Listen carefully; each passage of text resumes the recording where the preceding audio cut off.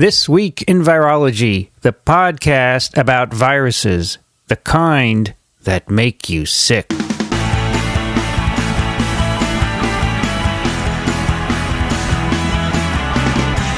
Okay, welcome to This Week in Virology. This is episode 185.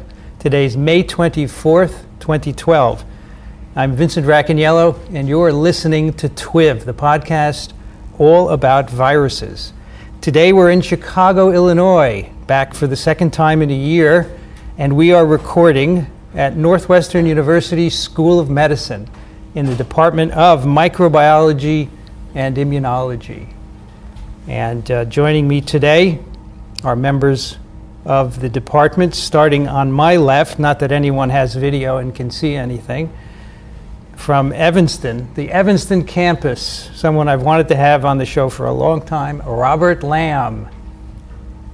You gonna say anything? I say hello, welcome. You're so loquacious usually.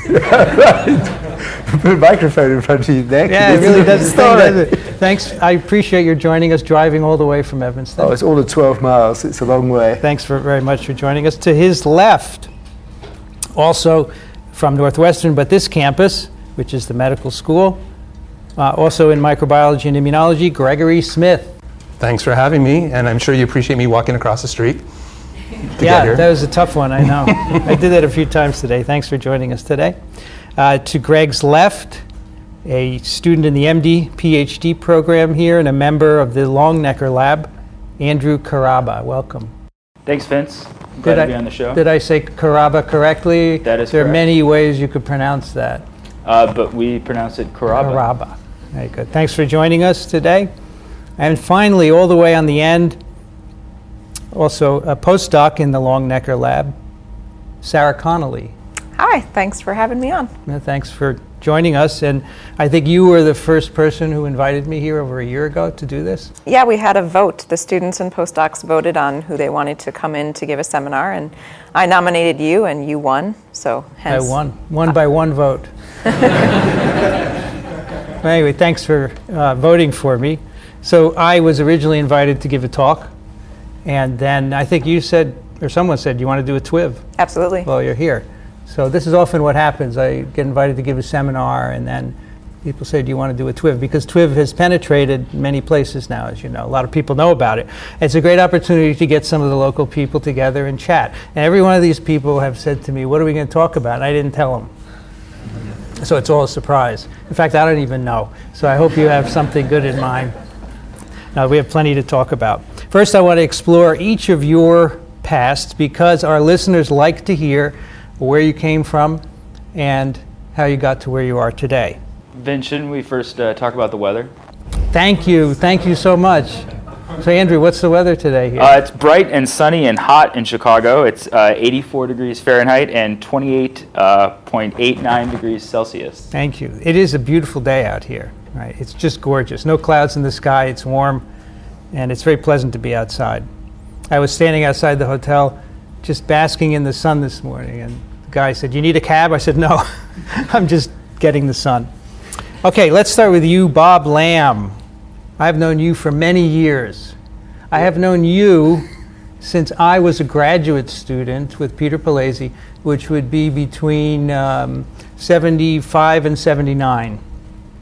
So I was a graduate student in Cambridge in England from 71 to 74, and then came to the Rockefeller University in New York City to work with Pernod Chopin, who was a virologist who worked on influenza viruses and paramyxoviruses. He was a physician by training, uh, but he'd gone into basic research, and he was the professor at Rockefeller in virology. And I stayed there until uh, 1980, December of 1982 first as a postdoc and then as an assistant professor and finally as an associate professor. Then I moved to Northwestern University in Evanston, where I've been uh, ever since. Do you remember when I first met you? Absolutely. And uh, I remember being on your thesis committee. You were on my um, qualifying exam. I was on your qualifying exam, and I was on Also your, my thesis your- as well? your- yeah, I was on your All right. So, external examiner. so you know, it was- back then it was hard to find virologists in New York City. So Peter said we have to get Bob to do this. So I remember one of the questions you asked me on my qualifying exam, which stumped me. I couldn't answer it. Do you remember what it was? No, but it's probably something to do with SDS gels. no, no, not quite, but had to do with Maxim and Gilbert sequencing. Uh, okay. So does anyone know what Maxim and Gilbert sequencing is, by the way? You do, Richard does. So I, might, I should say uh, we have a nice audience here, people from the department. I don't know, 50 people, I would say, are in this room, right? So thanks for coming. Maxim and Gilbert sequencing. Uh, you take a piece of DNA and you, you kinase both ends with isotopic P32 and then you have to cut it in half to separate the two pieces so you can do sequencing, chemical sequencing. And you asked me, when you do Maxim and Gilbert sequencing, what is the one requirement? And I didn't have any clue. What you, it was too general. So let me ask you, do you know what the one requirement is? Probably you have single lane labeled DNA. Yeah, and how do you do that? You have to separate the two fragments or strands That's separate. exactly it. You have to be able to, you have to have a restriction site which cuts. Or you can strand separate the double-stranded DNA by alkali denaturation. Yeah, that was too hard back then. So that was the But I think the yeah. very important thing about nobody knows what Maxim Gilbert's sequencing is today, because it was pretty quickly. Although he got the Gilbert got the Nobel Prize for it, and he shared that Nobel Prize with uh, Fred Sanger. Said Fred Sanger had developed a method that was more akin to what's done today, which was dideoxy sequencing, which is chain terminating sequencing by putting in di- dideoxys. And the most important thing for both methods was you had a gel system that could separate DNA by one base pair by one base pair and so so on and so forth. So you, you formed a ladder. But the very interesting thing out of Maxim Gilbert sequencing was this, in fact, it had a high degree of technical ability to be able to do it well. And you could actually tell which graduate students were really going to be good or not by whether, in fact, they could run four or 500 nucleotides off, off on the gel. And those who got gels looked by shambles could never do anything else quite right. And those who could get beautiful gels could do everything right. Now, I don't know what that is to this day that you could teach people. There was something magic. Some people, some students got it and some didn't. And I think it's all to do with the care and attention you had to pay. You had to make, ca- take ca- a remarkable amount of care about how you actually did the chemical fragmentation. Uh, or the reactions were very sensitive to doing things wrong and leaving little traces of chemical left over. But you know, today it's sort of farcical in a way in that regard because nobody even has to know what, what dideoxy sequencing is. It's, uh, DNA is that stuff you send off to a facility and overnight comes back on the internet your results with the sequence. And you don't pay any attention to how it's derived. You don't even know if the machine made errors because nobody, nobody checks anymore. So we don't do it ourselves, but is there an equivalent technique that separates the good students from the not so good students these days? I don't, I don't think I found anything as revealing as sequencing. Sequencing, yeah. Okay. Well, I don't think you would have ever taken me on as a student because I didn't never done Max and Gilbert. But when I did Sanger, we used to have to transfer that gel off the glass plate onto Wattman, and I can't I can't count how many times I yelled obscenities in the lab when that thing tore in that process. Yeah, so we would take, you would have these big glass, we're reminiscing here, big glass sheets, and you'd open them and there's this thin polyacrylamide gel, and then you had to put a, a used piece of x-ray film and peel it up. You used X-ray film to peel it. Yeah, what'd you use, Wattman or something? Yeah, Wattman. So we used x-ray film, you'd peel it up, and you'd wrap it in saran and put it in the freezer with, a, with another piece of film and a, a, one of those intensifying screens. Uh, but that was the crucial part, getting It all that. hedged right there. Yeah. It was No, I still think actually the most difficult part was loading those gels because you had a 0.15 millimeter uh, spacer and comb, and you had to use a drawn out capillary to load the gel, and you had to load it over probably four centimeters or so. And so if your hand shook, if you drunk a cup of coffee before you Yeah, loaded your that's gel. Snap. snap, and your sample was gone. And now you had to draw those out yourself. Those, You hand would make a collection for your gel. You'd put them in a little beaker, and nowadays you can buy tips. I think that fit You can. into these things. Okay. But I mean, I've still got the combs that I made by hand Yeah. out of that special plastic. and somebody put them in a, in a frame and gave them to me. So that's great. That's great. It's in your office. It's in my office. I have no idea who put it in a frame. It was a student, but I can't remember who it was. Right. I have to. I'm going to ask you to send a picture of that because I think that I threw away all my gels. So as a postdoc, I sequenced polio by hand by uh, Maxim and Gilbert, and I had all the gels in five or six boxes, big, you know, those big films. And then about five years ago, I figured I'm never going to need these. I threw them away. And I would love to have just one of those nice gels now. I've kept two. Yeah, beautiful ones. Anyway. The one that proved there was overlapping reading frames in influenza virus, and the one, in fact, that showed there was splicing of influenza virus. They're the only two X-ray films. That's a good I idea have. that you kept that. because they were the, pe- the key pieces of data that made important papers. So you, you think this is crazy that we're reminiscing, but in 10 years, you're going to say, do you remember when we used to put DNA in these machines and put the temperature up and down? And you're going to you're going to laugh about that because techniques go by the wayside. You know, it's just amazing. And that's what makes science go forward. Um, Greg, I know that you were in Lynn Enquist's lab because he and I wrote a textbook. We see each other. Did we ever meet in the lab or? You know, I, I think we, well, we never met in the lab, but I think we might have met, although I'm not sure. One time I was at a conference, I was a graduate student at the time, and uh, I can't remember if it was a Gordon, Gordon or a FASM meeting, but I was getting a little exhausted from all the science discussion, and so I left the conference room briefly and just took a, got some fresh air and took a little bit of a walk. And before coming back, somebody drove up in a convertible sports car and then came right up to me. I was the only person around saying, "Where's the conference room? Where's the conference room?" And I have this. I think it was you. I don't have a I- convertible. Do you ever drive a fancy convertible sports car? I wish I did. I don't no. have it. All right. It's very, it's a very idealized uh, image. No, you've burst my bubble. doesn't me. So I didn't mean. So I used, I, te- I uh, teach in his course, and I would have lunch with the TAs, but you never did that with me. You weren't. I guess you probably started that after, After I you left. left. Yeah. So uh, that's what I know about you and here. So where were you before your postdoc with Lynn? That was Lynn Enquist at Princeton. That's right, and that's where I started working on virology and herpes viruses. But uh, before that, I was working on uh, bacterial pathogen, Listeria monocytogenes, and that was with Daniel Portnoy, who at the time was at the University of Pennsylvania. Okay, I remember that. And where are you from originally? Well, actually, I was born in Elmhurst, just Not far close, here. not far from here. But my family moved to Southern California before I turned one, so I don't have any memories of Illinois prior to coming here for. And where'd you go to college? Uh, UC Santa Barbara, and then uh, UPenn, and then Princeton. So I have a Dan Portnoy story. Who doesn't? Anybody know Dan Portnoy or heard of him? So I roomed with him at a meeting in Switzerland once. And um, so after the conference was over at 11 o'clock or whatever, we'd go back to the room and I'd, you know, we'd climb into our beds and he talked for hours and hours. He wouldn't go to sleep. You know, I'd be really quiet lying there he'd just be, that's my, that's my image of Dan Portnoy. And so here, uh, this was your first job out of your postdoc. That's right. from Came, came straight here in end of 2001. Okay. Uh, Andrew, you're an MD PhD student uh, with Richard Longnecker. How did you end up here? Um, so I grew up in the Chicago suburbs in a small town called Clarendon Hills, and then went to Northwestern uh, for undergraduate, uh, my undergraduate degree up on the Evanston campus.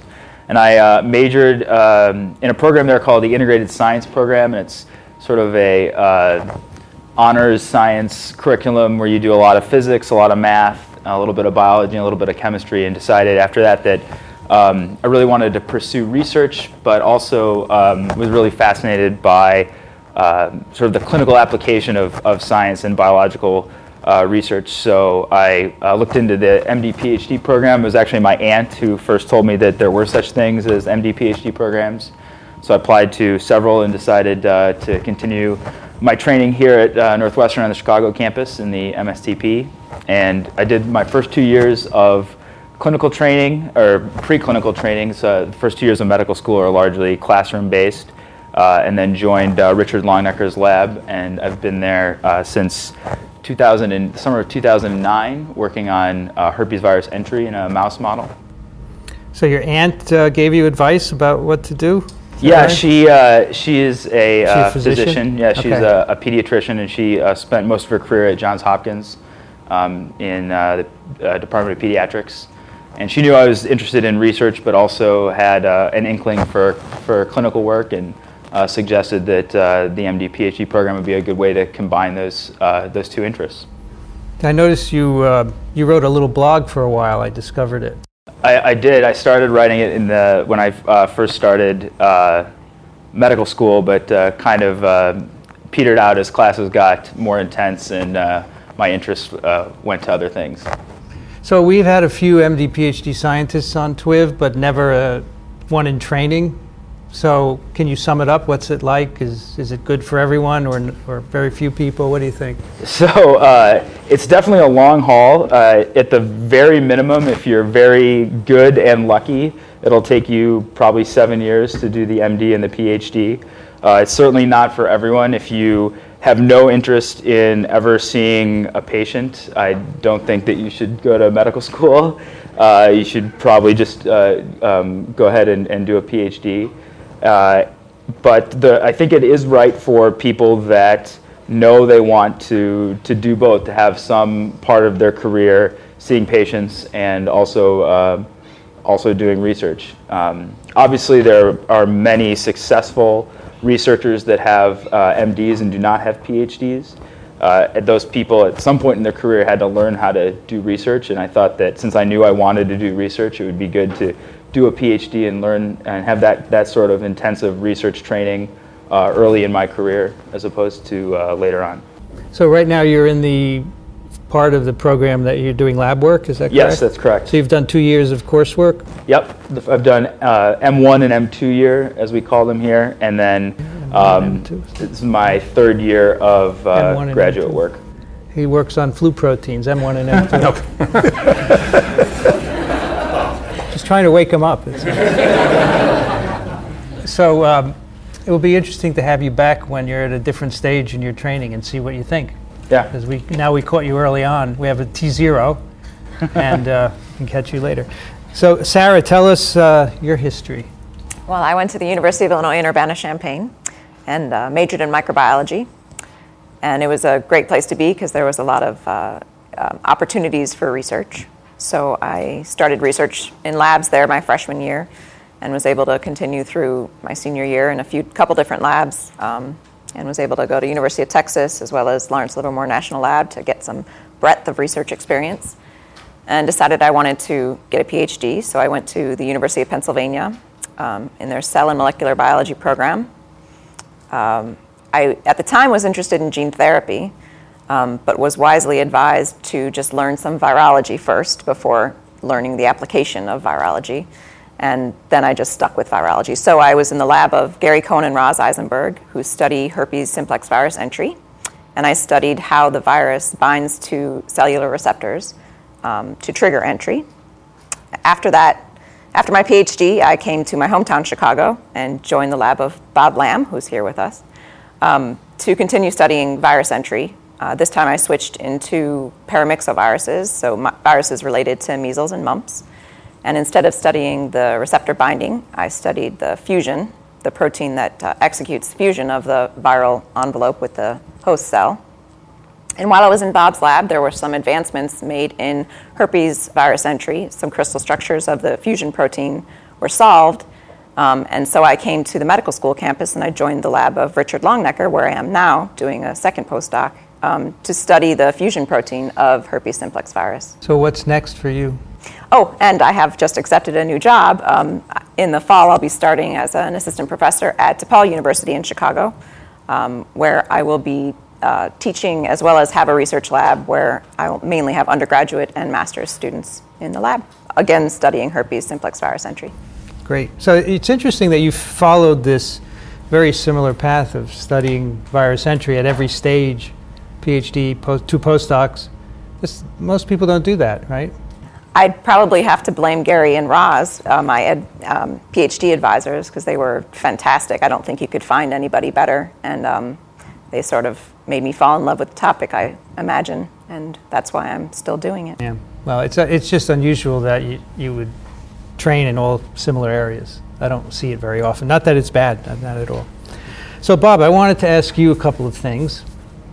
I want to talk a little bit about what you do, um, fusion of paramyxoviruses or entry of paramyxoviruses. But before we do that, as you know, uh, recently there's been a controversy over influenza H5H, uh, H5N1 publication. And one of the papers involved, the Kawaoka paper, was published a few years ago. Sorry, a few, uh, few weeks ago. Days, weeks. And in that paper, the mutations were revealed um, that allowed air, airborne transmission of a, recom- reassortant virus with the H5 of H5N1 and then the rest of the genome from, from pandemic H1N1. And what he found, and this is what I want your opinion on. So if you if you introduce mutations in the HA to allow it to bind um, mammalian sialic acid linkages, alpha 2 6, right? Mm-hmm.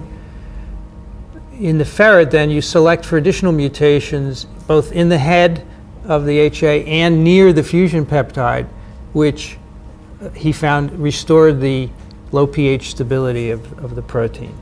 So, do, does this make sense to you? Can you explain why this happened? Well, the extra residue, I mean, first of all, he, he, made a virus by reverse genetics that had two mutations that were fully predicted to be capable of binding to alpha 2 6 uh, sialic acid. Mm-hmm. Um, so that, that was pretty obvious and been known for a long period of time. And he put that virus into a ferret, and to start with, it, it hardly grew at all. But then he actually he selected a virus that now had a third mutation that's related to the sialic acid binding site. And so that hadn't been, been seen a great deal before, although it's present in some natural isolates. Uh, and it makes sense. But the fourth mutation that he found, which again was by serial passaging the virus from the previous ferret into the next ferret, uh, is to do with the stability of the hemagglutinin. And it appears that if you have a hemagglutinin that undergoes its pH of transition to the low pH form above about 5.8, it's a pretty unstable hemagglutinin for other reasons. If it's too low, below 5.2, again, it's an unstable hemagglutinin. So what he's found is, is a residue, I think it was residue 310, uh, that's related to, to the um, major refolding event in the hemagglutinin that adds stability to that hemagglutinin. It lowers the pH optima towards 5.6. And he's found that. And my real question's been I believe the data that he has is absolutely fine. The question is if you do the experiment again, would you automatically find that mutation or not? That is, how common an occurrence is that particular one uh, going to be? Um, you know, in part, he's done an experiment that's part synthetic, that is, made a rever- used his brains of what we know in the literature to make a virus by reverse genetics, where he gets two mutations, and then he gets the other two just by serial passage. Um, so, in a way, that's the sort of repeat of what was done in uh, 1933 when Wilson Smith, who was working with Christ- Christopher Andrews, uh, took a virus from a human and called the virus Wilson Smith after himself, WS. And then he wanted to have a mouse model for the virus because he wanted a small animal model, although flu is not a natural pathogen of mice. It still can be used as a small, as a small animal model to a certain, certain extent. And what they did was, was they decided, well, we know from the old polio literature from years ago that what you do is you inoculate the mouse brain with the influenza virus. And that's what they did. And they serially took virus out of mouse brain, put it into the next mouse brain, and serial passaged it down and down the line. And after 10 passages, they got a virus out that was highly neurotropic for the mouse, killed the mouse, and that's the virus that's been used ever since in the laboratory because, in fact, it can kill a mouse and you get an endpoint to your experiments. And that virus is called Wilson Smith neurotropic, otherwise known as WSN. So, in a way, this whole business that Kawaoka has done is he's repeated a very old, time honored type of method, except this time he's done it in a ferret. And so has Fouchier done exactly the same thing in a ferret, uh, as far as we can understand, although that paper's not yet been released. So you don't know the, if the Fouchier mutations are the same as the Kawaoka? I'm told two of them at least overlap because they both started off by doing reverse genetics. To allow I have, binding I, to I've seen yeah. for months, I've seen the Kawaoka paper, but I haven't seen the Fouchier one. So th- does it make sense that this uh, amino acid change near the fusion peptide would change the, the pH trigger for fusion?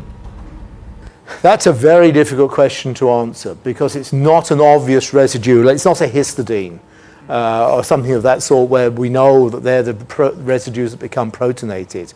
Um, you know, having been told afterwards that it makes these changes and he provides data to show there's a change in the pH optima and there's a pH is an increase in stability of that hemagglutinin uh, by heating. Uh, it makes some sense, but that's it's retrospective looking. You can't, you wouldn't have been able to predict it from the structure in the first place. So in, in, a, in this way, these experiments are useful because they provide something new that we didn't expect.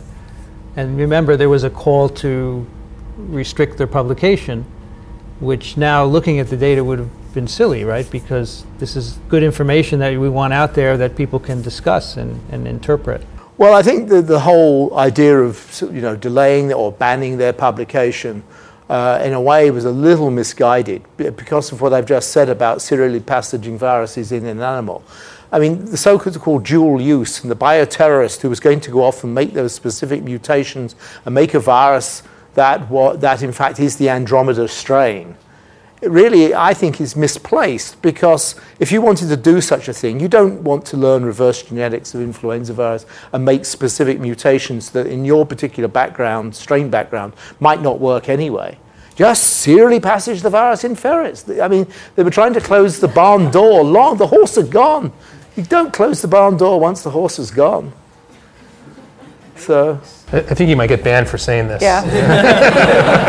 banned from uh, what? Banned for saying that. You don't want you don't want the terrorists to know that's what you're supposed to do. Well, I think that, I think they're smart enough to have figured that out long ago.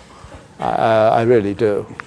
Well, I, I, just think that these. Uh, I, I, remember the New York Times uh, published an editorial back in January saying this work should never have been done, but of course they hadn't read the paper, and they were just thinking in terms of risk. But I think one of the big disconnects in this and where things went radically wrong and off the rails, because this all started last September uh, when Fouchier gave a presentation at a meeting I was not at in Malta, but quite a lot of people were at. And he is quoted, at least by Eyserink, as saying, This was the most stupid experiment I could have ever done. I mean, he created his own problem. But at the end of the day, I think that even though he was in the press every week from October through about a week ago, uh, Nature and Science lapped it up because they were pushing it for their sales to write stories about this all the time. I think where it had gone wrong was Kawioka, in a way, was smart not to talk to the press while this was going on. But I think he could have clarified one thing. The public was left with the generalized impression that this was a killer virus and all the ferrets died. And that's what was repeated over and over again in editorials from the New York Times to the Chicago Tribune, the Los Angeles Times, etc., etc. In reality, the ferrets didn't die. None of Kawioka's ferrets died. In fact, they were less sick than they would have been if, if in fact, inoculated with the pandemic 2009 virus. Somewhere along this time, Kawioka could have stopped the rampant press speculation by coming out and saying, My ferrets didn't die. Now, Fouchier has a slightly different problem because he absolutely, I think, left people with the impression that all his ferrets were dead. At least he did in Malta. And he reminds me of that old Monty Python skit where, in fact, they talked about the dead parrot. And there's one shop owner, there's one person complaining he's just bought a parrot from the pet shop owner, and this parrot is dead as you whack the thing onto the countertop. And the, and the, shop owner says, No, no, no, no, this parrot's just resting. It's just resting. And he goes, I know a dead parrot when I see one. I know a dead parrot. Well, the problem is, is Fouchier really, does he know the difference between a live or a dead ferret? because if you'd ever seen a ferret, you would know that they're as vicious as squirrels. Okay, there's a few people who have a pet, who, who have a pet ferret, but you've got to be very, very careful because a squirrel, which they're very similar to in nature, is a very vicious animal. And you could lose your fingers for good with it. so you've got to be super careful. So, you know, I worry about the difference between the live and the dead ferret. In reality, his ferrets all lived. The bottom line was, and if he'd come out and said that weeks and weeks and weeks ago, don't panic. We haven't created the Andromeda strain. We've done a piece of basic science. We've shown what might be important for transmissibility. I think that, in fact, we wouldn't have had this enormous press hype about it. Well, I, I think part of his response to you would be that shortly after he said that, the NSABB told him he couldn't talk about anything anymore, referring with respect to the paper. So he just shut up and it wasn't until about a month ago that he did tell us that it yeah. But the NSABB actually has no powers whatsoever. It can make recommendations, but it doesn't have any legal authority. They, if he'd chosen to say something, they, they couldn't have done anything to him. They don't have, uh, they don't really have any status in, in the eyes of the law. Right. It's a good lesson. Uh, not, not all of us deal with these kinds of issues, and um, this is a good litmus test for how things may go if you're working on particular viruses Oh, or I, other th- I, I think that we're going to see some major changes brought about. Yeah. I think this will have a very negative effect on what you can do and what you can't do. I mean, already the NIH is screening everything for dual use. And uh, I think it's going to have uh, some serious repercussions.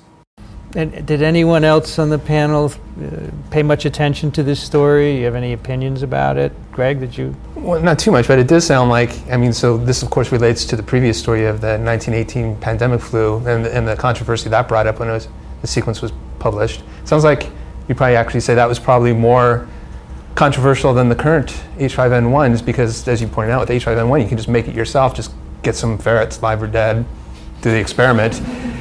But with the 1918, you can't do, there isn't an experiment to do. So the information was somewhat novel and can, can only be acquired through that, that resource. Is that right? And there is no doubt that the 1918 sequence, in fact, leads to a highly, highly pathogenic virus. Well, one of the members of the NSABB has actually said he regrets approving publication of that 1918 sequence. But it's done, and I understand now if you have been infected with 2009 H1N1, you have some You have protection against Yeah. 1918. So that its value as a bioterror agent is gone, essentially. Andrew, thoughts?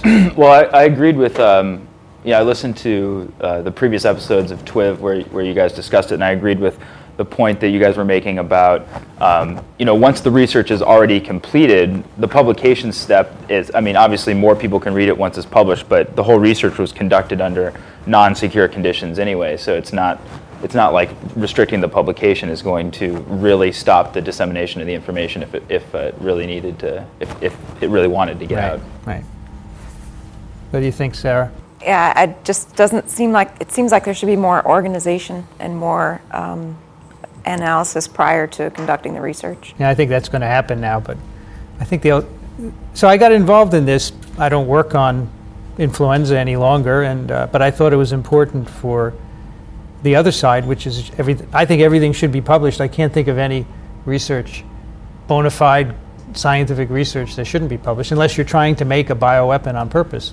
I don't think you should censor it. I think the way science works is to publish.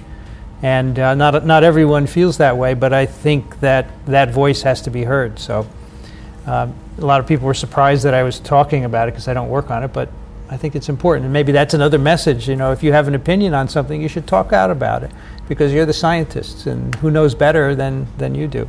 So I've been seeing a couple of reports in various different settings of people putting virulence determinants from one pathogen into another. And it reminded me a little bit of work that you presented today where you took two, uh, a 2A protease out of polio and put it into a different picornavirus. And if, in that case, you're putting it into a mouse virus. I don't think we're going to be too concerned about what it does to us. But I mean, how do you feel about those kinds of experiments? Do you think that those things should be more highly regulated, or is it just fine to go ahead and, and just hope that the Andromeda strain isn't the next thing around the corner?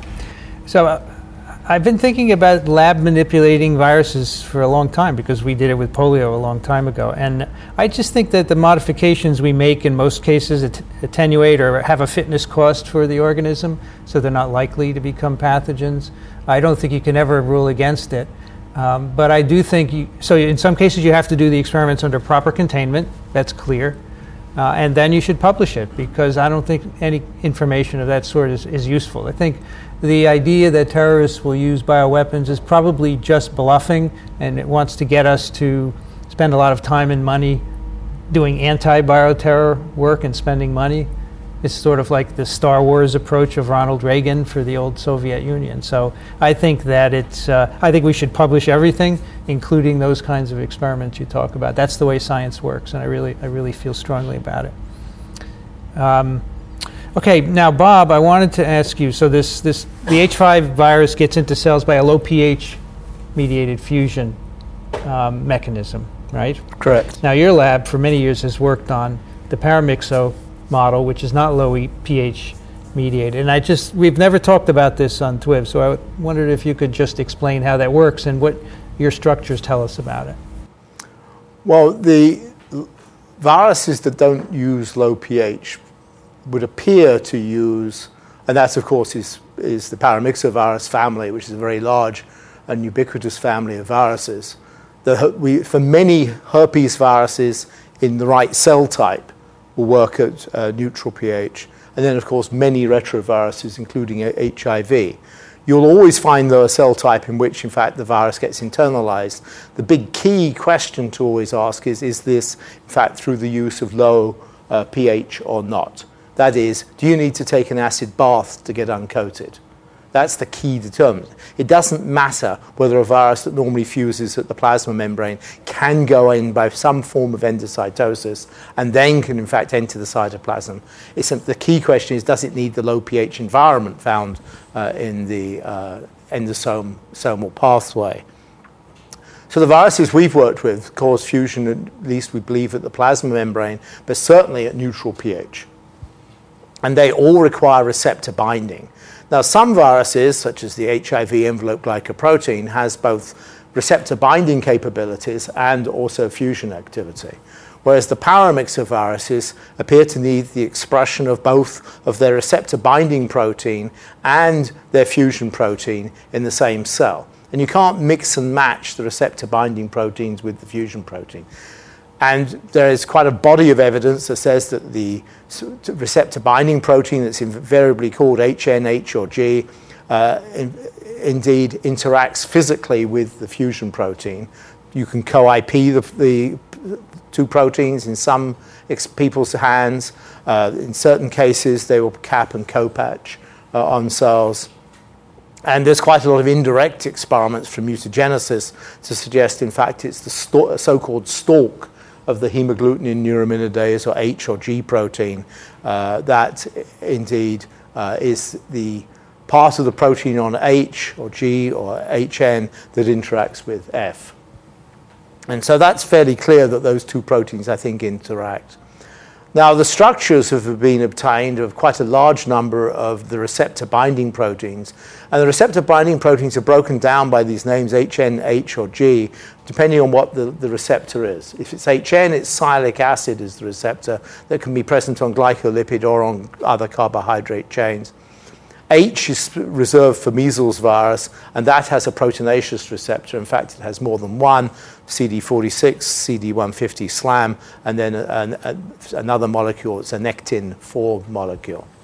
Uh, Hendra and Nipah virus use very specific ephrin B2 or ephrin B3 proteinaceous receptors.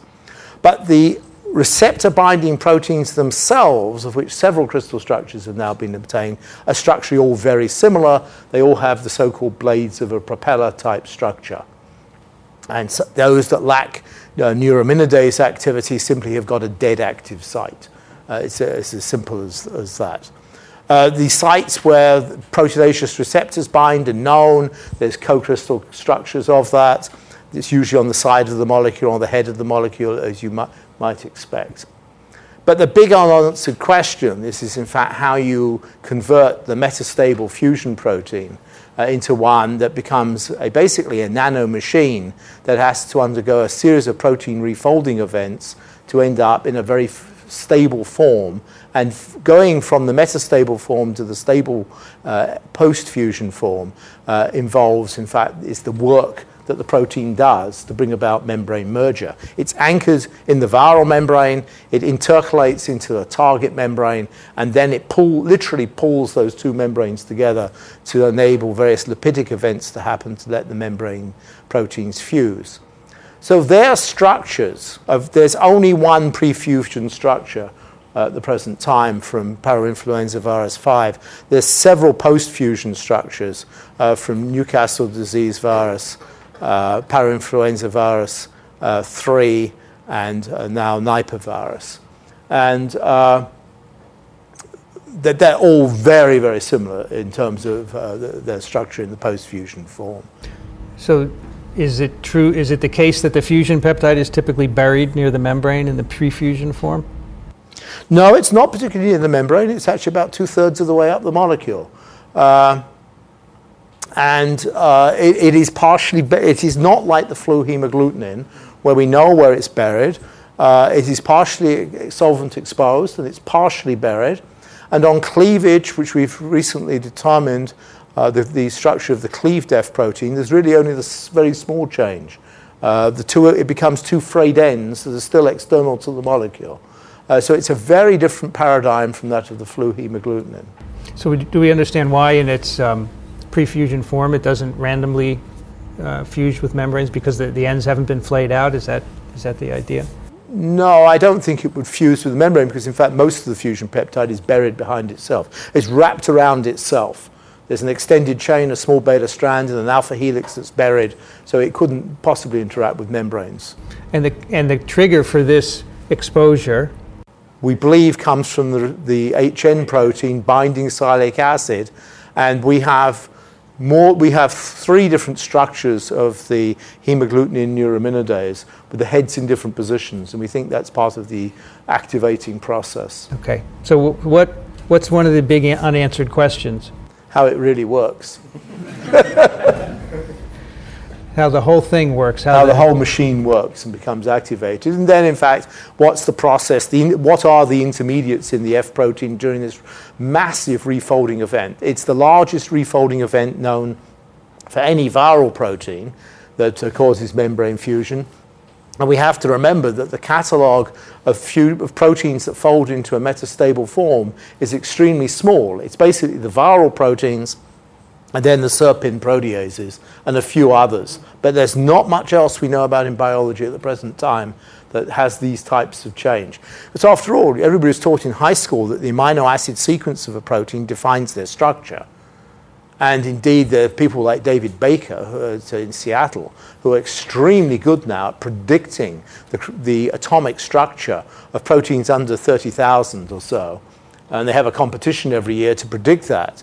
And they're getting very good at that. But as I said to David Baker not so long ago, your ultimate challenge will be to be able to predict the two completely different conformations that the fusion proteins adopt. And he just laughed. so, are you going to uh, figure out how it works? Is that one of the things your, your goal, one of the goals of your lab? That's one of the goals, and we hope to be able to do it sooner than later. All right. Well, good luck. Um, Greg, I know that from as you, you came from the NQuIST lab, so you must work on pseudorabies virus, right?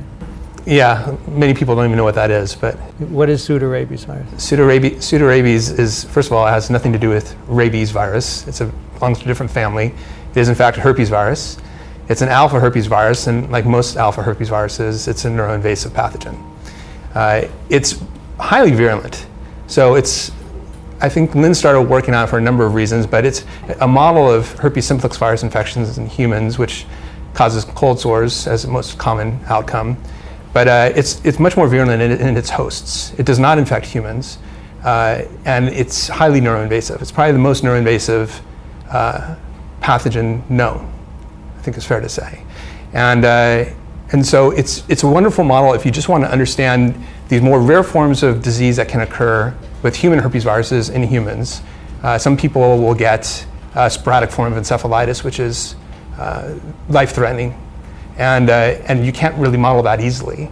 Uh, but with pseudorabies virus in its natural hosts or in other animal models that become naturally infected, although they are dead end hosts in nature, these outcomes become very frequent, if not default. And so it gives you an opportunity to study these processes. So once uh, we we asked Lynn for some virus, pseudorabies virus. I don't remember what we were doing, and he he wrote me a note and explained you know how to grow it and titrate it, and then he said, "Be careful, you may fall in love with this virus." I don't know if there's if I if I'm that loving of the virus, but I do I do like it very much.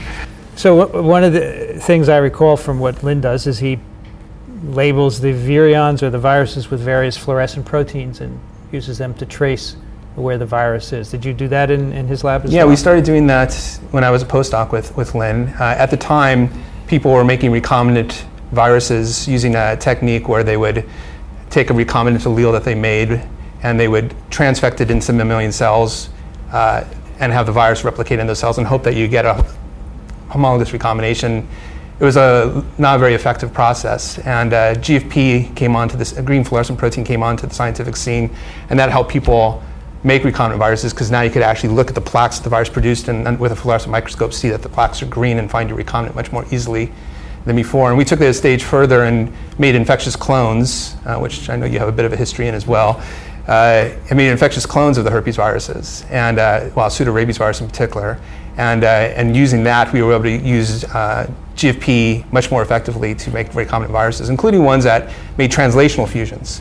Uh, and these allowed us to image the viral particles inside living cells and see the dynamics of infection. So in that case, the, the fluorescent protein is fused to some protein that's in the particle itself. That's right. And so the first ones that we were interested in were fusing to the capsid core. So as, you, as many of your listeners will know, the herpes virus structures for a virus is somewhat complex. It has a icosahedral capsid core, uh, and surrounding that is a layer of additional viral, viral protein collectively called tegument, and then around that is the envelope with its transmembrane glycoproteins and other assorted protein.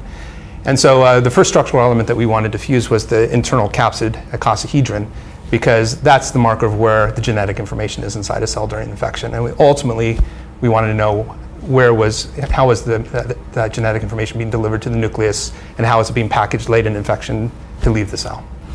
So when you came here, you clearly brought the virus, the technology, and probably some specific viruses you had constructed with you, I assume. Yes. right? So this is always an interesting question going from a postdoc to your own lab. What can you bring and what can't you bring? And did, for you, was it a straightforward process? You know, Lynn is a very generous individual, and uh, he basically let me do whatever I wanted to do. And uh, he also, when I talked to him about my interests and what I wanted to pursue, uh, he was happy to back off from that for the short term and let me run with it. And uh, since that time, he's, we've gotten, you know, something, there have been a few little things where we've gotten closer together again, but for the most part, he's moved his way and I've gone off on, on mine, and, uh, and he's always been extremely supportive about the whole situation. So I was very fortunate to have an advisor that was very, very giving. It's important to point out that that's not an assumption. Many cases, No. advisors don't want you to take anything with you. It, it's, you know, varies. it goes all across the Goes gamut. Both spectra, yeah. So um, when you when you set up your own lab, you obviously had questions that were extensions of what you were doing, but you also came up with your own ideas as well. Yes. So so now, how do you distinguish yourself from from that? What's what's unique to the Greg Smith lab? Well, my, my, my, I think my, my primary interest in general is neuroinvasion, viral neuroinvasion. So that that's before you go on. What do you what do you define as neuroinvasion? That's a good question because Lynn and I have actually argued that term a little bit. Neuroinvasion to, to Lynn means that the virus is getting into the CNS.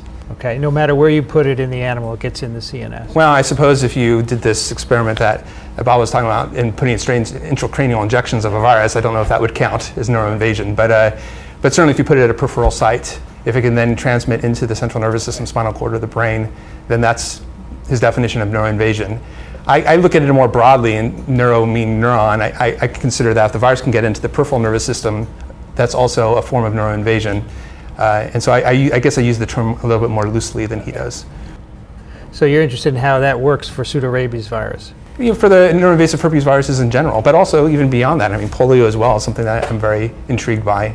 I mean, there's some interesting comparisons that could be made between the viruses, actually. I think we corresponded years ago about this. In fact, retro, different kinds of transport in, in nerves of polio versus uh, herpes viruses. Well, so polio, I'm, I, polio, I, I'm very intrigued by in the sense that, you know, as, as of course many people know, polio prior to the Sabin and Salk vaccines was, you know, it's, it's a borderline neuropathogen in, in the sense that most people who get infected by polio never get neuroinvasion. It's probably about 1%, I think was the estimates.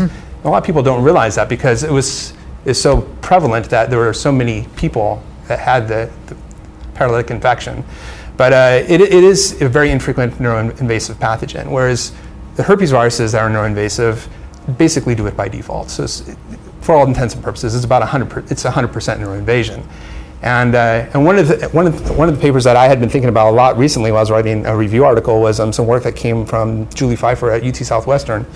And she uh, showed that, so with polio, of course, you can get this provocation effect where if you do muscle damage, uh, the virus is more prone to become neuroinvasive in that host. And this was very important when it came to giving vaccines. You don't want to give a polio vaccine while you're giving other vaccines in muscle. And she, using that, that knowledge, she realized that if you go ahead and use animal models, an animal model that we talked about today actually, uh, you could get the virus in more easily. And so it seems with into the nervous system. So it seems with polio, there is an innate barrier, probably not just polio for any, there's an innate barrier between the periphery and the nervous and the peripheral nervous system. There's something about that that viruses can't cross very easily. They can't cross that threshold. And with polio, you need to do some kind of damage apparently to make that threshold more uh, easily across. With herpes, they, they don't have a problem. And we, we published a couple years ago a phenotype that I think relates to all this, where if you mutate an enzymatic activity in the herpes viruses, uh, protease, that cleaves um, ubiquitin off of proteins. So it's a deubiquitinase or DUB, that you get basically the polio phenotype. So the virus now does not transmit, in, for PRV, it does not transmit into the nervous system, but it replicates very well on peripheral uh, cells that are innervated by the nervous system. Uh, and we thought at first the phenotype was very dramatic. It just lost neuroinvasion, and we were very excited by that because it was a novel phenotype. But we realized that sometimes it would get in in one animal. And it looked like that the correlation was, was who was doing the injection and how well they injected virus in the, the peripheral tissue. And if they did it kind of sloppily, the virus would get into the nervous system. So it seemed like it related that if you did extensive damage at the periphery, the virus now is neuroinvasive, very much like polio is by default. Right, right, and so right. I think it all ties into this thing that there may be an innate barrier to infection. And some viruses will figure out how to cross it efficiently, and other ones don't. And the ones that don't probably don't really need to to be productive. So, do you know what the deubiquitinase is actually doing? Uh, no. So, Nick Huffmaster is a graduate student in the lab whose project involves in this, and we are looking.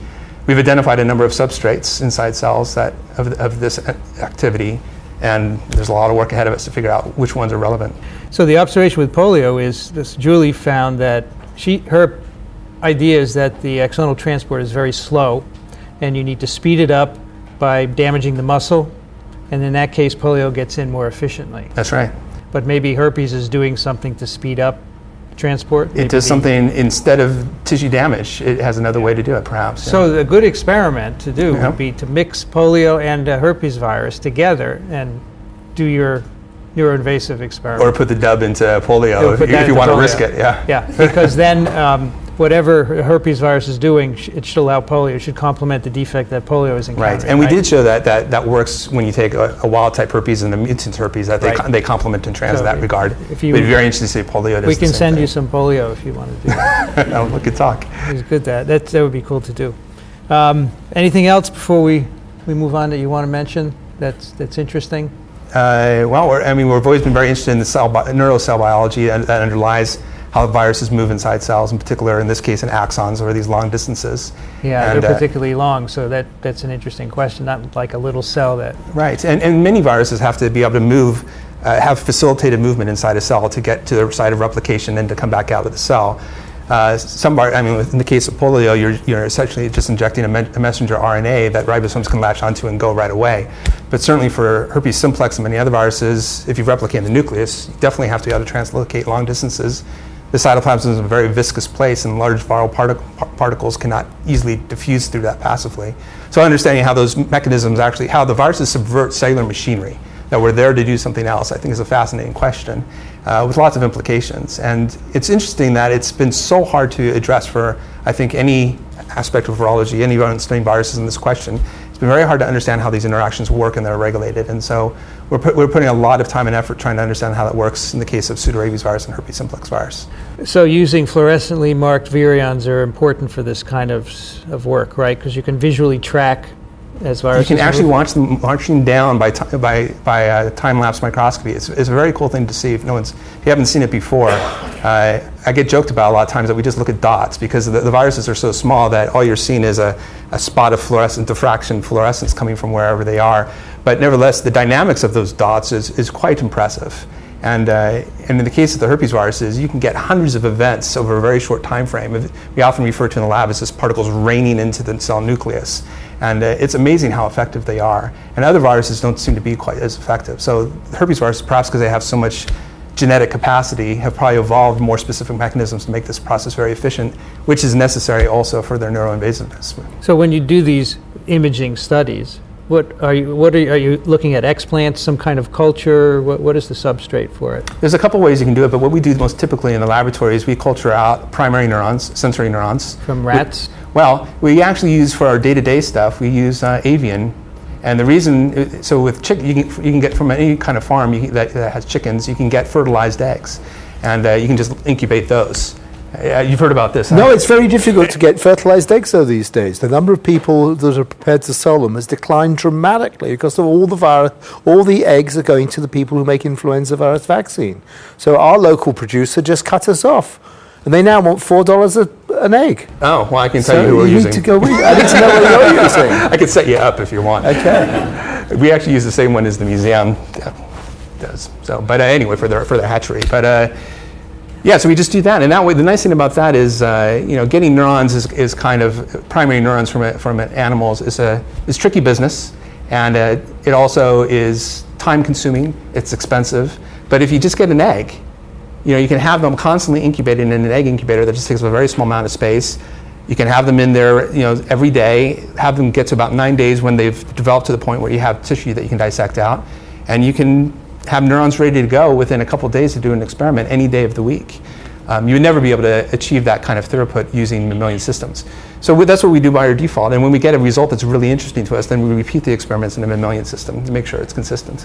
And pseudorabies will infect these It avian. loves 'em. uh, It and, loves and them. And the other terribly important thing about using chick, chick embryos is, is that you don't have to have animal forms. You do not need to have animal forms. That's absolutely right. Is that right? Yes. Because they're not. They're not. Not- th- th- as long as they're not hatched. As long as they don't hatch. Yeah. If they hatch, you're in trouble. For a couple of reasons. One, because they think that you're their mother, and, and, then, and then they have to kill them when they're like saying "mom, mom, mom." I mean, it's not, not a pleasant But thing uh, to do. uh, uh, you do not need animal forms for, uh, for chicken, embryonated chickens. Well, when I when I worked on flu as a graduate student, uh, we used to have them hatch all the time. But at the time, there was no IACUC, and we didn't need forms for anything. so what did you do with them? Pets? Uh, we had a guy who would take them home and raise them and eat them. Well, I can recommend that to Boy, my that, students. that's, that's a passport to jail these days. These days, yeah. It's a long time ago. A long time. No, we would sack them typically, um, but they would often hatch because you wouldn't use some, and you leave them in the warm room, you forget. You forget, yes. All right, Yeah, thanks. that's, yeah, that's not a good thing anymore. Uh, Andrew, let's let's hear a little bit about uh, what you're doing. Can you talk about? Sure, yeah. Um, so in the Longnecker lab, we also study herpes viruses. Um, part of the lab studies Epstein-Barr virus, and another part of the lab studies herpes simplex virus type 1 and herpes simplex virus type 2. Um, and I work on herpes simplex virus and uh, particularly interested in how the receptors uh, mediate pathogenesis of the virus. And I uh, study um, how the virus uses those, those receptors in an ocular model of infection in mice. And so um, herpes simplex virus entry is pretty complicated, and I'm sure Sarah can uh, tell you more details about the actual machinery and the proteins that are doing it. But the, the virus requires uh, several glycoproteins to mediate entry. Um, and it has several different receptors that it can use to enter cells. Um, and several of them were discovered here at uh, Northwestern by Pat Spear before she uh, retired. And actually, I think you were on one of the a co-author on one of the papers where that discovered that nectin-1, which is one of the entry receptors, uh, is used by the virus. And so that we have these knockout mice uh, for the receptors. So we have wild-type uh, C57 black 6 mice that have uh, both HVEM, which is one of the receptors, stands for herpes viral entry mediator. So well named for what it does for our purposes. Uh, and then nectin-1 is the is the other receptor that we're interested in. And then we have uh, HVEM knockout mice and Nectin-1 knockout mice, and then double knockout mice. And uh, before I joined the lab, um, there were some studies done with HSV2 using these mice in an intravaginal model and a direct cranial in- injection model. And both those studies showed that um, you didn't really need HVEM, that the wild type mice and the HVEM knockout mice both got sick, uh, both developed symptoms of of uh, herpes and uh, both succumbed to the infection ultimately. And that the infection was attenuated in Nectin-1 knockout mice, and that if you had, if you lacked both receptors in the double knockout mice, you couldn't infect the mice at all. So we wondered if uh, the, both of these receptors, if we, if we would see the same phenotype in an ocular model using HSV1, and uh, actually we found something a little different, which was that if you knock out either HVEM or Nectin-1, you get an attenuated infection in the eye. So it appears that with HSV1, you need uh, both HVEM and Nectin-1 to cause sort of a, a wild-type disease or wild-type pathogenesis, which was, uh, which was new and interesting. And so we've been following that up with uh, studies in HSV2 in the eye, too, to see if the differences between the two serotypes of the virus or if it's um, something unique to the eye. So is that because the the receptors are somewhat redundant? If you take one away, the other can be used, and So, so but not both. Not, necess- not necessarily because if you take HFEM away, at least in the previous experiments in the, in the vaginal model and the cranial model, um, the virus can use nectin just fine and doesn't seem to mind the fact that HFEM is not there. Um, in the eye, as I, as I said, it's a little different where it seems that uh, the virus, some, for some reason, needs both receptors, even though it only binds to one receptor at a time. Um, a possible explanation for that is that HFEM, after it was discovered uh, as a, a herpes uh, entry receptor, has subsequently been shown to be important in regulating the immune system. It has both uh, immune stimulatory and immune inhibitory effects depending on which other uh, partners it's binding to and what cells it's expressed on. So uh, one hypothesis that we're kind of working on is that perhaps the virus has evolved to, to target HFEM to modulate the immune system in its favor and that this modulation is uh, more important in an eye infection than um, in, in another route. Is that something you're going to look into? Yeah, that's, that's uh, the, the next direction. We're trying to work on making viruses that uh, can differentially bind to the two receptors so that we can investigate it both from the receptor being absent in the animal, but also the virus not being able to uh, engage one of those receptors. You ever think about using uh, some of Greg's viruses, fluorescently labeled viruses, in this? We, uh, like- we, we have uh, uh, collaborated some with, uh, with Greg's lab and used uh, some of those fluorescently labeled viruses to, to take a look at where the virus is in the eye and how it's infecting it. Um, and uh, I know that uh, if, if you know, we need to make other mutations, they're a great resource to have just a few floors down to help us do that because they're a mutant viral factory. So, what stage are you? How much more time in the lab do you have? So I'm just about to finish up my third year um, of the PhD part of my training. And uh, hopefully by this time next year, I'll be finishing up my PhD and heading back uh, to finish the third and fourth years of medical school, which are the, the clinical years. So I'll be doing uh, clinical rotations in the hospital and, and seeing patients and seeing a little bit more what it's like to be a, a practicing physician. Does that sound good, Richard? Yeah, Rich, Rich is. Stay forever, please, to get off of this break. um, yeah, Rich has been really uh, supportive in, in uh, me taking on this project because this was uh, using the eye model was something that the lab hadn't really done uh, before it came along, but uh, he was really supportive in helping me get it started. And um, there's a technician in our lab, uh, Sarah Kopp, who uh, basically taught me everything I know and has been um, a really good teacher and, and, and lab partner to, to have uh, in these experiments. So, when you finish your um, your late, late, later clinical years, what do you do next? Do you do a postdoc, a fellowship? Do you have any idea? Yeah, so um, uh, after you graduate with an MD, PhD, people can kind of go in different directions. There are some people that decide at that point that uh, you know medicine's not really for them. They really want to just get right back into the lab, and they go and do uh, sort of a traditional postdoc. Uh, for me, I, I definitely uh, do want to see patients, so I'm going to go ahead and uh, do a residency program and then uh, fellowship after that, and then hopefully someone will hire me to be a physician scientist at a university. Well, after they hear you on TWIV, they will. You've heard of the TWIV bump. I have, I have. I'm hoping it uh, it applies in this case. You're going to get it, no problem. Yeah. So whoever's listening, you know, there you go. But it'll be a few years yet before Yeah, you're ready. It's. I mean, it's been a long haul, but uh, I've really, really enjoyed um, my time in the MSTP here, and uh, uh, really enjoyed all the um, my fellow students and people in the in the program, and um, it's been a it's been a great experience so far. All right. Uh, Sarah, tell us what you're doing. I study herpes virus entry into cells, also in Rich Longnecker's lab with Andrew, and I give him practice in being a doctor by coming to him for his advice on various afflictions. Like I had hand, foot, and mouth disease a couple of weeks ago. So Do you isolate virus? uh, no, I considered it because adults really aren't supposed to get that. Um, but It's a picornavirus, right? uh, Coxsackie. Well, that's a picornavirus. Well, okay. um, so, right, I'm not studying that virus now. I'm studying herpes simplex virus. Um, and so, I said previously that I was a postdoc in Bob's lab studying virus entry with paramyxovirus, studying the fusion protein that he was talking about. And um, crystal structures of the fusion protein from herpes simplex virus uh, were published, and that's attra- attracted me back into herpes uh, entry research. Um, so herpes simplex virus and the other herpes viruses have a more complex entry mechanism than many other viruses. Um, lots of viruses, I think as Bob said, use a single protein to bind a receptor and then trigger fusion. Uh, paramyxoviruses and herpes viruses encode their receptor binding protein and their fusion protein. Well, their receptor binding activity and their fusion activity are encoded in two different proteins.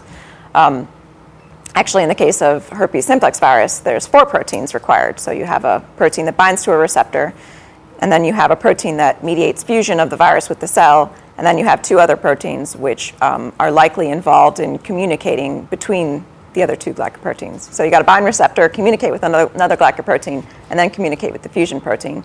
And is this also low pH dependent fusion? No, it depends on the cell type. With uh, HSV, some cells you will get low pH uh, dependent fusion, but some cells you fuse on the plasma membrane. Um, and we don't, I don't think, know really why that is. Um, but then when, once you've triggered the fusion protein, you need to convert from a pre-fusion form to a post-fusion form. And the crystal structures that are, have been published are both post-fusion forms. So the glycoprotein that's the fusion protein is called glycoprotein B, so GB, um, and it's conserved among all herpes viruses. So we've got herpes simplex virus 1 and 2, which cause cold sores and genital herpes, and you've got chickenpox, VZV, um, you've got cytomegalovirus, Kaposi sarcoma herpes virus. Um, so a lot of viruses where this is an important protein and it's conserved and this is why I'm interested in studying it. Um, in Bob's lab, the protein he, the fusion protein that I studied in his lab is a class one fusion protein. He, as he said, he has the crystal structure of pre-fusion form of that protein as well as post-fusion form. Um, and in having those two structures, you can put together a model of how the protein is refolding, and then you can test that model. For glycoprotein B in herpes viruses, we only have the post-fusion form. And so right now what I'm interested in learning is uh, what the pre-fusion form might look like and how it transitions from the pre-fusion to the post-fusion form. Um, this is interesting to me in a, just a basic biochemistry, um, as a basic biochemistry question, how is this protein refolding from a pre-fusion to a post-fusion form to drive the fusion of the virus with the cell? Um, but it's also potentially clinically relevant um, if you can learn how the protein is uh, transitioning from pre-fusion to post-fusion. You may be able to develop things that can inhibit that transition, and thus this would be a good antiviral against um, the variety of herpes viruses that I've mentioned. Um, so, uh, class one fusion proteins, like the paramyxovirus fusion protein that Bob was talking about, have the, this structure called a six helix bundle, which um, is very energetically stable, and it's thought to the formation of the six helix bundle in the post fusion form is thought to provide the energy for the transition from the well, the energy to drive fusion of the virus with the cell. Um, glycoprotein B from herpes viruses, uh, in the structure, it's not a class 1 fusion protein, but it has a region in it that looks similar to the six helix bundle that's present in the class 1 fusion proteins. And so, most recently, I've been looking at that region of the protein to try to determine if uh, class 3, which is what glycoprotein B is a class 3 fusion protein, whether class 3 fusion proteins refold through a similar process as class 1 fusion proteins. So when you say you're looking at what yeah. what kinds of experiments are you doing? Mutagenesis, biochemistry, structural determination, all so of the above. I've tried a few approaches. I, I, tried to use some peptides that might inhibit the formation of this uh, structure. Those didn't work for me. Um, so I did it by mutagenesis, and I uh, made some mutations in the GB protein, which would be predicted to lower the strength of the interaction of two regions of the protein um, and the result is that when you make mutations in that region, you get a, a, reduction in the level of fusion, which I believe may be because we've trapped the protein in a pre-fusion conformation, or at least uh, reduced the frequency at which it converts to a post-fusion form. So when you go to DePaul, is that yes, where you're going? DePaul. Are you taking some of this with you? Yeah, Rich Longnecker has been very supportive, as we've been saying is important. Um, I'd like to continue a collaboration with him. I'm only going to be, I, what is it, two miles away so I'm hoping to um, have a productive collaboration. I'd like to come back down here. I'm going to be the only virologist on campus up there, so it would be nice to have some people here to talk to about my work. Um, but yeah, I will be continuing working on herpes simplex virus uh, entry into cells. And when are you moving? September 1. Good yeah. luck with that. Thank you. All right. Uh, before we wrap up, I'd like to read a couple of emails because this is an important part of TWIV, and there's one coming up that we need you to answer. all right, because it has to do with flu. So stay awake, okay? I'm okay. I'm asleep. All right, the first one is from Kate, who uh, writes Dear Team TWIV, thanks for all the wonderful podcasts over the years. It's been great to regularly tune in to a more relaxed forum of academic discussion throughout my years of virology study. So you see, we're very relaxed here at TWIV. I'm in the final year of my PhD at the University of Cambridge and the Un- Institute of Zoology. Weren't you at Cambridge? I was at Cambridge, yes. I remembered that. I was in pathology there. and my PhD research has centered on the risk of viral zoonotic disease emerging from a fruit bat population in Ghana, West Africa. I really enjoyed the most recent TWIV episode, 183, that covered Jan Drexler's paper about bats as reservoirs of major mammalian paramyxoviruses. Have you seen this paper? Yes, I have. Fabulous. It's Fabulous amazing, yes. That said, We, of though, course, we don't know they're all viruses yet. They're just sequences. absolutely. Yes, we did point But that I presume they're viruses. Some of them they had full-length genome right. sequences. And they will only be entered into the databases, at least for ICTV, when they have full-length Full-length, yeah. Uh, there were a number of comments made on the show about a number of firsts in this paper, e.g., first specific study of paramyxoviruses in bats, first evidence of virus closely related with mumps in an animal host, etc., that weren't correct. I published an admittedly much smaller study in the Journal of General Virology earlier this year showing that bats host a large diversity of paramyxoviruses, including a virus closely related with mumps. See attached just trying to keep you on your toes. And thanks again for all the good podcasts. So, you know, science is self-correcting. So is TWIV. It gets corrected. So she's right. We just said, "Hey, this is the first report," and everyone said yes, and so that that happened. So thanks for correcting that, Kate, and good luck with those fruit bats. All right, this is. Um, So what's the question for me about fruit bats? no, no, No, the next one is the next one is for you. Stephen writes, "Hey Twiv dudes, um, let me say, great podcast. You are truly doing a service to the field and to society. Let me get right into it. I'm a graduate student in virology at the University of Rochester. I work with influenza, and I just saw a great seminar this morning about gathering information from clinical epidemiological studies after they've already been completed. It got me thinking of an interesting set of data that may or may not exist out there as of yet. Are the severe hospitalized cases of H5N1 at all correlative to previous vaccination? In other words, of the 600 or so reported cases, did those individuals ever receive a flu shot? Did those who did who died have a higher or lower incidence of previous vaccination? Could be an interesting question. Just thought I'd throw it out there. Back to my experiments. You have any idea whether Well, I mean, I would make a guess. I have no idea. Now, I have no facts whatsoever, but I would make a guess. If you think where, in fact, those cases of H5N1 that have killed people have been, which is Southeast Asia, Indonesia, Egypt, I very much doubt if they've been vaccinated for influenza. I think vaccination for influenza up to now has been a European and Western uh, thing, and not one that belongs to the developing countries. So, uh, so I guess is not. I would imagine, though, what he was really alluding to is this new phenomenon of trying to find uh, antibodies uh, that are broadly neutralizing. I imagine that's what was at the back of his mind when he asked that question. Yeah. yeah. So again, if anyone knows better who's listening, let us know. But that, that's what I thought also. These individuals, by the way, who die of severe H5 infection, they re- we really should study their their genome because I'll bet they have mutations. You know, for, for severe herpes simplex encephalitis, there are specific mutations in innate immune proteins that confer that. And I'll bet it's the same with severe flu. In fact, there is one mutation, IFIT, IFITM3, which confers severe flu, right? It's Uh, associated with severe which flu. is associated with it. There's, so there's this correlative study Yeah. from, the, from done from Britain right. uh, that would, would imply that, yes. So I'll bet these individuals have a problem as well. Possibly, but we don't know what's in. Um, So that's an in- interferon-induced protein. right. All right, let's do one more. This is from Don. Greetings, my virome idols. You get that, idols?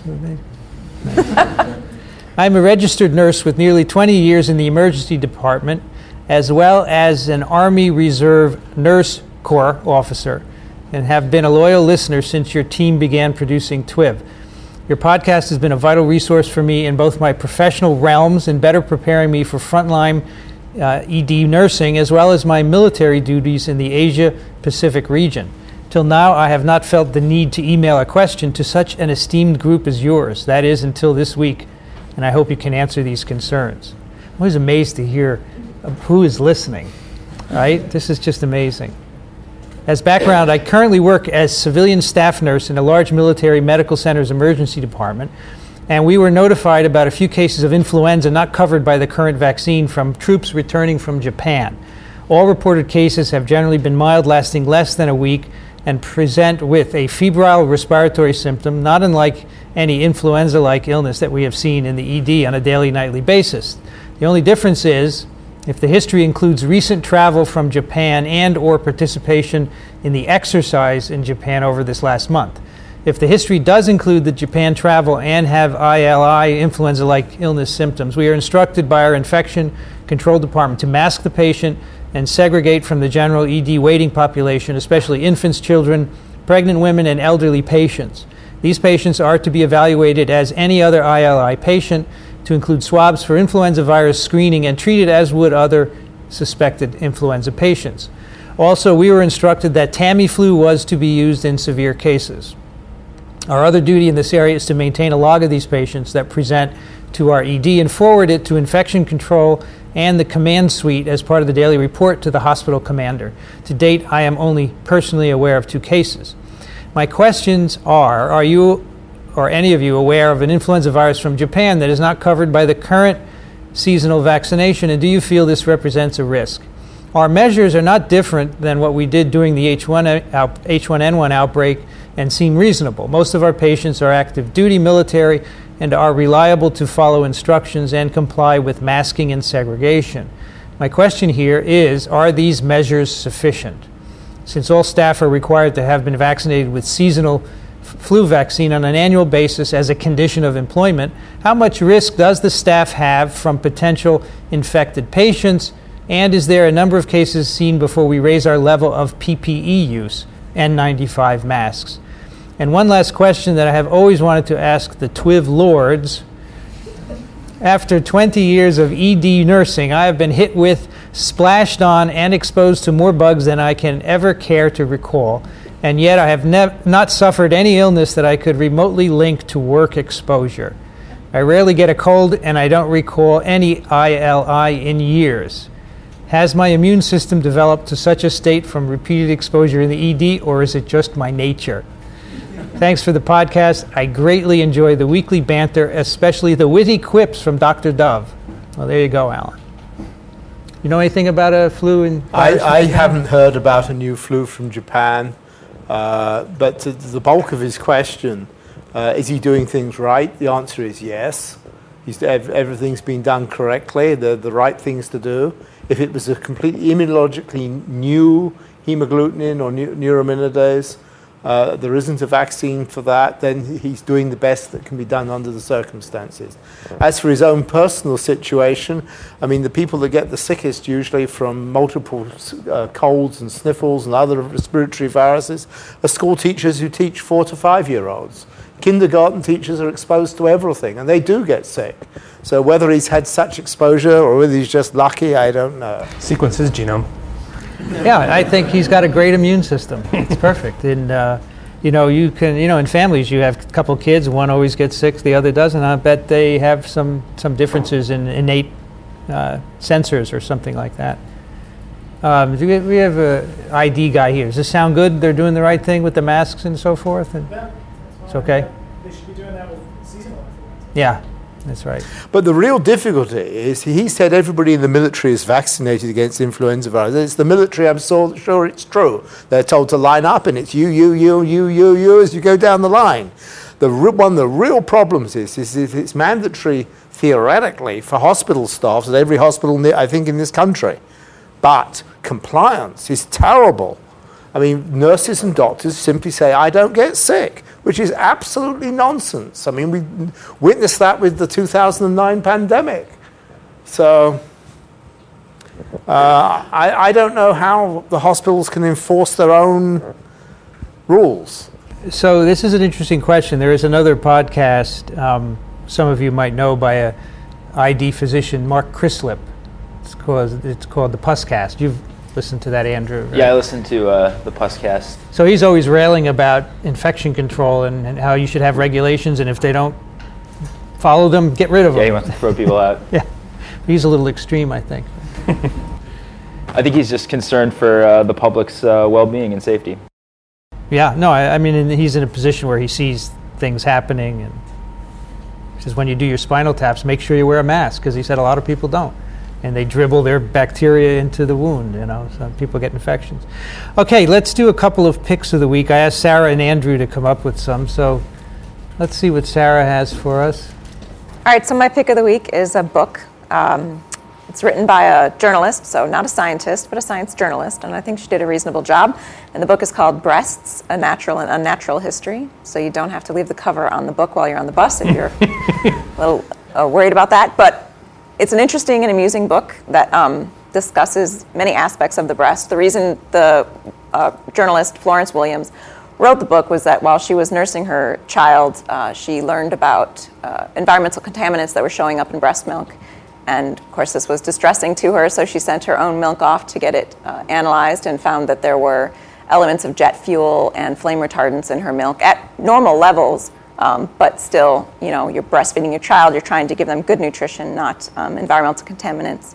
Um, so the book is not all a downer. It also talks about um, the positive things in breast milk, and it talks about the anthropological and evolutionary background of breasts, which becomes pretty funny, I think, in the book. And um, also talks about breast cancer and uh, why women. I mean, I have a personal reason for finding the book interesting, is because I have a 10 month old son right now. So uh, um, I'm a little biased, perhaps. But the reason mammals are called mammals are because of breasts. So I would advertise that both men and women could find the book. That's great. Are you worried about the jet fuel? In, no, I mean, I'm not going to stop nursing my son, but it is disturbing that, that we have these. Uh, and, and babies are really the top of the food chain. Um, and, you know, contaminants can be concentrated into high fat breast milk. So, But probably the benefits outweigh any any risks, right? yeah, and, you know, what are you going to do? Like, yeah, you can't live a completely contaminant free life. No, for sure. All right. Well, thank you for that, Andrew. Do you have a pick? So um, yeah, I actually have two. I don't, I don't know if that's cheating or not. One is uh, a science-related book. Uh, it's called The Strangest Man: The Secret Life of Paul Dirac. It's by Graham Formello, and um, uh, as I mentioned, my undergrad, I was in this uh, integrated science program where I had to take a lot of physics and have a sort of passing interest in theoretical physics, and I, I found the book to be uh, really interesting because Paul, Paul Dirac was a really weird guy, but really, really brilliant. And it's also sort of uh, a history of the development of quantum mechanics and um, how uh, World War II impacted science and impacted uh, the, the field of physics. And then my other pick, uh, real quick, is an uh, app for the iPhone called Stamped. And um, what it allows you to do is you follow people kind of like on Twitter and you uh, put your stamp of approval on things you like. Uh, you know, most people use it for recommending books or um, restaurants or movies to people, but I've started uh, sort of pushing the boundaries of it and I've stamped, uh, you know, science podcasts like TWIV or scientific papers I find interesting. Uh, and I think it's a, a really neat way to sort of continue a conversation that's already happening um, it, you know, with friends where you'd say, hey, I just saw this movie, you should really check it out, or I just read this paper, it's, it's really good, and kind of uh, collects that uh, online and makes it easy to, to see and link to. Another way of using social media to do anything, but in particular sci- science and articles and podcasts. It's That's how I use yeah. it. I think, I think most people probably don't use it that way, but that's, that's what I've been doing. Stamp. That is a new one to me. Thanks for that. Uh, my pick is a webpage of the Gates Foundation, which many people might be interested in. It's called so the, the Gates does a thing called Grand Challenges in Global Health. They give out grants, um, little starter grants for hundred thousand dollars, and then if you get good results, you can get phase two for several up to a million dollars. Okay, they have very specific uh, areas. Uh, they have about 15 different areas, including mucosal immunity, uh, mothers and newborns, um, nutrition, polio eradication, uh, synthetic biology, tuberculosis, vaccines. So they make a call for proposals, and then when they award them, there on this page you can see what's been awarded. So the reason I'm pointing this out, first of all, you might be interested in applying for something, and it's not as hard as you think. Whenever I get the emails for this, I usually put them away because I figure I couldn't come up with something that Gates would like.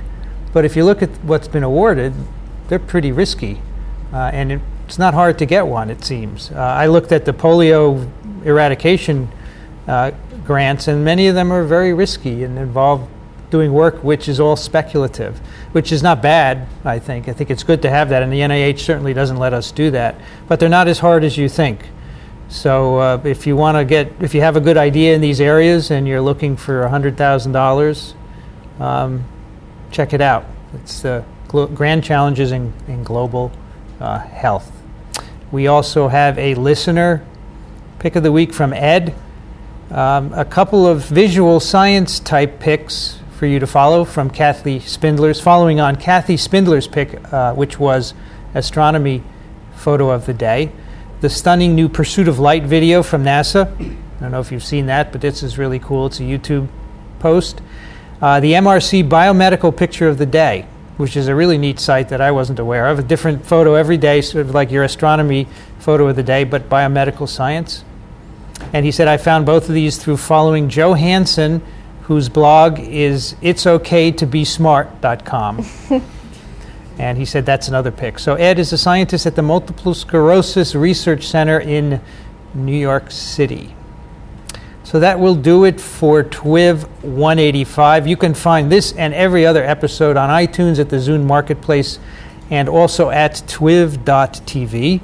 We do have an app for your iPhone or Android device. You can get that at microbeworld.org slash app, and that'll let you stream the episodes uh, to your phone. And do, do send us your questions and comments as usual to twiv at twiv.tv. I think our next episode next week will be all email because we have a big backlog of questions. I want to thank everyone uh, for participating today. Sarah Connolly, thank you. Thank you. Appreciate it. Good luck in your, your new job. Thank you very much. Uh, Andrew, thank you for, for joining us. Thanks for having me, Vince. It's been great. And thanks both of you for uh, inviting me and organizing the visit here. It was a lot of fun. Greg Smith, thanks for joining us. It's been my pleasure. Thank you. It's good to hear about your work, and I'll tell Lynn that it was a lot of. I'll tell him to listen, right? There you go. I'm sure like he will. He told you to listen to his. so- I'm sure I'm going to get feedback of what I forgot to say that about his research. And finally, Bob Lamb, who I've wanted to get on TWIV for a long time, and you can see why. I'm not you. sure whether that's good or bad. It's good. It's very good. I thought it was really good, and I love the reminiscing about gels. So thank you. What I should have asked you, though, is why does an STS gel that you run with a trisglycine buffer work? And I'll leave that question open for anybody to tell me the answer at some point. Oh, that's a good one. So we'll throw it out there to the audience. The first answer, the first correct answer, will get a TWIV mug. How's that? First correct answer by email, twiv at twiv.tv. I'm Vincent Racaniello. You can find me at virology.ws. You've been listening to This Week in Virology. Thanks for joining us. We'll be back next week. Another TWIV is viral.